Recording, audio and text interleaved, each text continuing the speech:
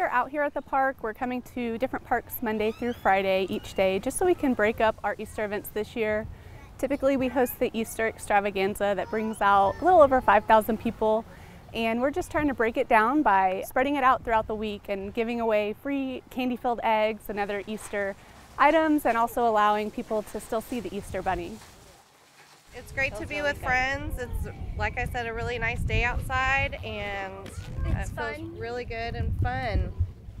What about you, River? Are you having fun today? Yeah. Yeah. I think it's great that we were able to get out today, and we really enjoyed it. We liked Thank the music, and it was just a lot of fun. Thanks for having us. I just hope there's some excitement for us to be in person and doing an event outdoors and being able to somewhat gather and host something that looks like an event again, even though it does look a little bit different. It really felt good today to hear a kid say, best Easter ever when they saw the bunny in person.